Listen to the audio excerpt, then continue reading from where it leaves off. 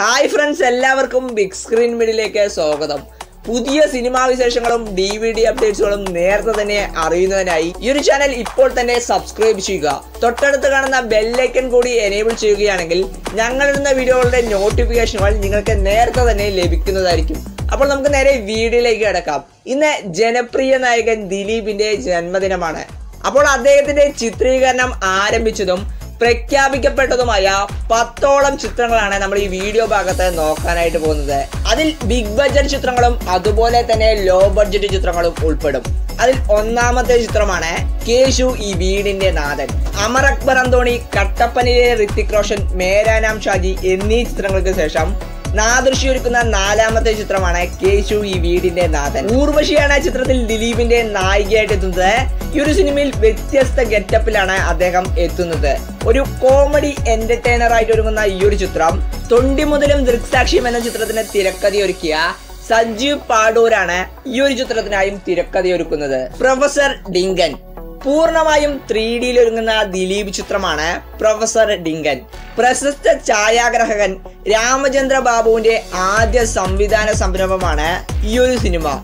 ചിത്രത്തിന്റെ തിരക്കഥ ഒരുക്കിയിരിക്കുന്നത് സംവിധായകനായ റാഫിയാണ്. വ്യത്യസ്തമായ ഗെറ്റപ്പുകളിലാണ് ദിലീപ് ഈ ഒരു ചിത്രത്തിൽ എത്തുന്നത്.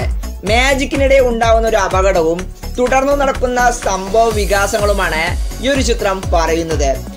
ബിഗ് ബഡ്ജറ്റിൽ ഒരുങ്ങുന്ന ചിത്രത്തിൽ നായികയായിട്ട് എത്തുന്നത് നമിത പ്രമോദാണ്. ആക്ഷൻ രംഗങ്ങൾക്ക് വളരെയധികം പ്രാധാന്യമുള്ള ഈ ഒരു ചിത്രത്തിൽ ചിത്രത്തിന്റെ ആക്ഷൻ രംഗങ്ങൾ കൈകാര്യം ചെയ്യുന്നത് മികച്ച ആക്ഷൻ കൊറിയോഗ്രാഫറായ കേശയാണ്. അടുത്തത് ദിലീപിന്റെ കരിയറിലെ ഒരു ബിഗ് ബഡ്ജറ്റ് ചിത്രമായിട്ട് ഒരുങ്ങുന്ന ചരിത്ര പശ്ചാത്തലത്തിൽ കഥ പറയുന്ന ഒരു ചിത്രമാണ് ഖലാസി ഈയിടെയാണ് ഈ ഒരു ചിത്രത്തിന്റെ അനൗൺസ്മെന്റ് എല്ലാം നടന്നത്. മലബാർ മാപ്പിള കലാസികളുടെ ഒരു കഥയാണ് ഈ ഒരു ചിത്രം പറയുന്നത്. ചിത്രത്തിന്റെ ടാഗ് ലൈൻ തന്നെ കെട്ടുകഥയല്ല കെട്ടിന്റെ കഥയാണ് എന്നാണ്. ഗോകുലം ഗോപാലൻ നിർമ്മിക്കുന്ന ഈ ഒരു ചിത്രം സംവിധാനം ചെയ്യുന്നത് നവാഗത സംവിധായകനായ മിഥിൽ രാജാണ്. ഇനി ദിലീപ് ആരാധകർ ഏറെ പ്രതീക്ഷയോടെ കാത്തിരിക്കുന്ന ഒരു ചിത്രമാണ് റൺവേയുടെ രണ്ടാം ഭാഗമായിട്ട് ഒരുങ്ങുന്ന വാളയാർ പരമശിവം. രണ്ടായിരത്തി നാലിൽ ജോഷിയുടെ സംവിധാനത്തിൽ പുറത്തിറങ്ങിയ ബ്ലോക്ക് ബസ്റ്റർ ചിത്രമാണ് റൺവേ. അപ്പോൾ റൺവേ എന്ന ചിത്രത്തിനും അതുപോലെ തന്നെ വാളയാർ പരമശിവം എന്ന കഥാപാത്രത്തിനും ഇന്നും ആരാധകർ ഏറെയാണ്. അതുകൊണ്ട് തന്നെയാണ് ചിത്രത്തിലെ രണ്ടാം ഭാഗം പ്രഖ്യാപിച്ചിരിക്കുന്നതും. രണ്ടാം ഭാഗവും സംവിധാനം ചെയ്യുന്നത് ജോഷി തന്നെയായിരിക്കും. പറക്കും പപ്പൻ. മലയാളത്തിൽ വീണ്ടും ഒരു സൂപ്പർ ഹീറോ ചിത്രവുമായിട്ട് എത്തുന്ന ഒരു സിനിമയാണ് പറക്കും പപ്പൻ വിയാൻ വിഷ്ണു സംവിധാനം ചെയ്യുന്ന ഈ ഒരു ചിത്രം. രണ്ടായിരത്തി പതിനെട്ടിൽ ദിലീപ് തന്നെയായിരുന്നു തന്റെ ഫേസ്ബുക്ക് പേജിലൂടെ അനൗൺസ് ചെയ്തിരുന്നത്.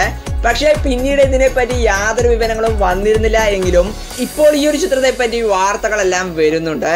അടുത്തത് അവതാരം എന്ന ചിത്രത്തിന് ശേഷം ജോഷിയും ദിലീപും വീണ്ടും ഒന്നിക്കുന്ന ചിത്രമാണ് ഓൺ എയർ ഈപ്പൻ.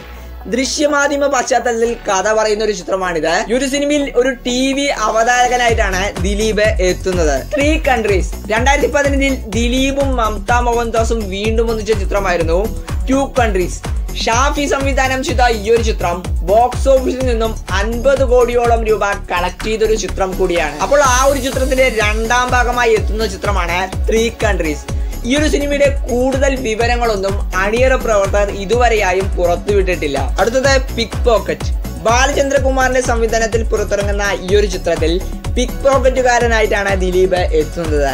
ചിത്രം രണ്ടായിരത്തി പതിനേഴിലായിരുന്നു പ്രഖ്യാപിച്ചിരുന്നത്.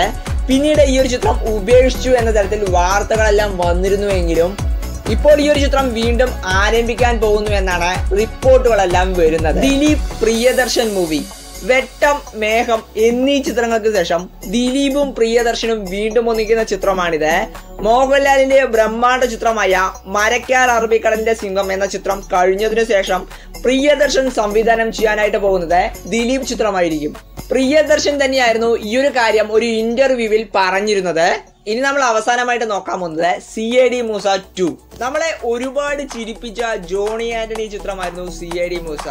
അപ്പോൾ ഈ ഒരു ചിത്രത്തിന്റെ രണ്ടാം ഭാഗമായിട്ട് ഒരുങ്ങുന്ന ഒരു ചിത്രമാണ് C I D Moosa two പക്ഷേ ആദ്യ ഭാഗത്തിലെ പലരും ഇന്ന് ഇല്ലാത്തതിനാൽ ഈ ഒരു സിനിമ എത്ര കണ്ട് വിജയിക്കുമെന്ന് നമുക്ക് പറയാനായിട്ട് സാധിക്കില്ല എങ്കിലും ഈ ഒരു ചിത്രം നടക്കുമെന്ന് ദിലീപ് തന്നെ നേരത്തെ വ്യക്തമാക്കിയിരുന്നു. അങ്ങനെയാണെങ്കിൽ ജോണി ആന്റണി എന്ന സംവിധായകന്റെ തിരിച്ചുവരവ് തന്നെയായിരിക്കും C I D Moosa two അപ്പോൾ ഞാൻ ഈ പറഞ്ഞതിലും കൂടുതൽ ചിത്രങ്ങൾ ദിലീപിന്റെതായി പ്രഖ്യാപിക്കപ്പെട്ടിട്ടുണ്ട്. അപ്പോൾ ഞാൻ ഈ പറഞ്ഞ ചിത്രങ്ങൾ നിങ്ങൾ ഏത് ചിത്രത്തിനായാണ് വെയിറ്റ് ചെയ്യുന്നതെന്ന് തീർച്ചയായും കമന്റ് ബോക്സിൽ ഒന്ന് കമന്റ് ചെയ്യുക. അപ്പോൾ ഇതുപോലൊരു ഇൻട്രസ്റ്റിംഗ് ആയിട്ടൊരു വീഡിയോ ആയി കാണാം ഫ്രണ്ട്സ് ബൈ